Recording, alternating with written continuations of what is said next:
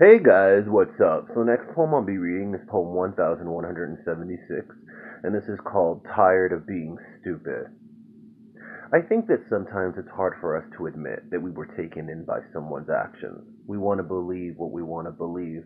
Maybe they're nice, or they mean well, or that people don't know their whole story. We want to have blind faith that they're not playing us, that they're good parents, or you can trust so and so with this or that.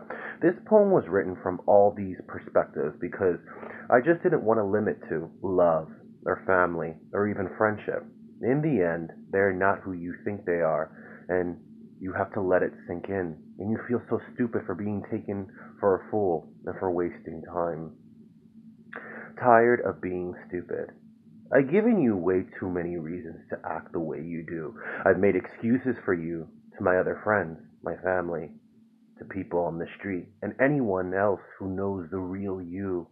You see, I really convinced myself and tried to show them that maybe you were just hurt, that they were rushing into judgment, that if they just took a walk in your shoes, or perhaps it was me for being so loud, for being a bitch, that one time you always had this thing, sort of like mind manipulation, to make anyone feel like they're wrong at the end, I'm frustrated, screaming on the floor, trying to find an explanation in the middle of all the mess.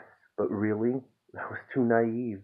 I was blinded by our history, by the way you said you loved me, or the strong bond, or even by the way you said he hurt you.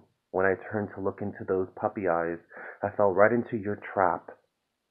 I bought into that story. I bought into your lies. I bought into the pity. Well, now I'm so tired. Tired of being tired. Tired of being a scheme to your twisted game, tired of being the wrong one, tired of being nice, tired of being stupid. So you can take all those stories, your love, our friendship, whatever we had, and shove them up your ass. There's the door. I've given you way too many reasons to act like a complete fool. I was so loyal. I stuck by even when you said awful things to others. I even tried to tell you to play nice, but it's like this venom has snuck into your skin, destroying anything good. All you want to do is be bitter. I don't know why I was thinking that maybe with time you would change, that you would see that not every day's weathercast has gray clouds.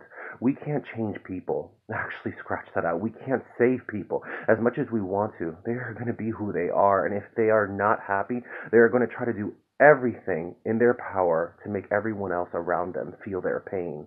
I feel for you. I really do. I see where this is going. I'm not sinking into the abyss. So I'm getting on the nearest raft and paddling my happy ass to safety. I was blinded by our promises, by the way you whispered you love me, or the strong bond of friendship, or even by the way you said he broke your heart. When I glanced into those lost eyes, I fell right into your maze. I bought into your product.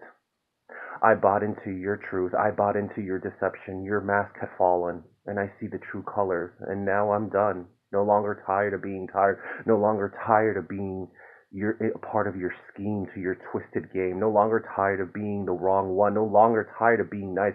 No longer tired of being stupid.